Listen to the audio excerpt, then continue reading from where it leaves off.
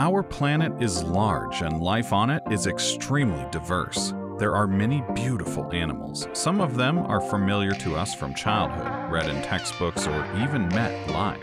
However, there are strange creatures in nature that are extremely rare. So rare, in fact, that you may have never heard of them, or heard, but only that they are on the verge of extinction and in the near future will be lost forever. The golden tiger this rare species of tiger is found exclusively in captivity.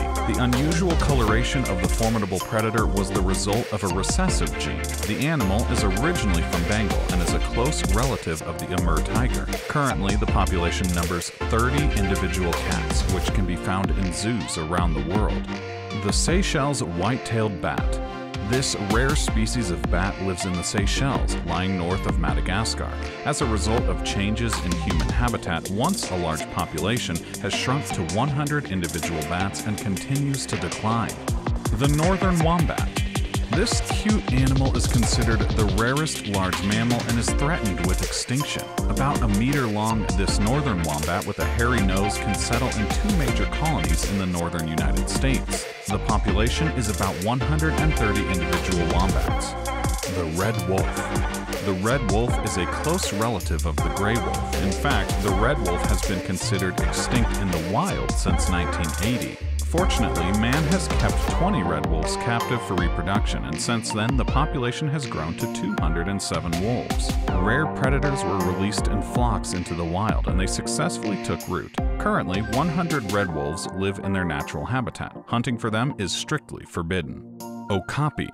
Is this a giraffe or a zebra? Nope, it's an okapi. Have you heard of this animal? The first mention of the okapi dates back to the 2nd millennium BC in the hieroglyphs of the ancient Egyptians. Until the 20th century in Europe and Africa, there was a legend of the African unicorn. Today, this animal is called an okapi. Okapi live in dense tropical forests not occupied by civilization. They are very timid animals that lead a hidden lifestyle. For this reason, scientists are unable to study in detail the okapi and determine the exact number of the species. Tarsius. Tarsius heels are found only on the islands of Southeast Asia. Thailand, Cambodia, Indonesia, the Philippines, and many others, which may even seem as if these little animals are not so rare. However, this is not the case.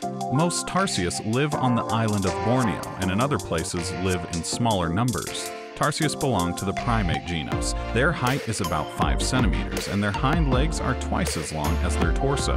In addition, each eye is a heel the size of a brain.